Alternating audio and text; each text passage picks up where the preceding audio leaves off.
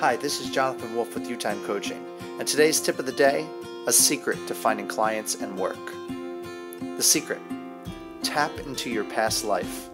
This could include previous schools you attended, your current or previous workplace, and individuals you had connections with.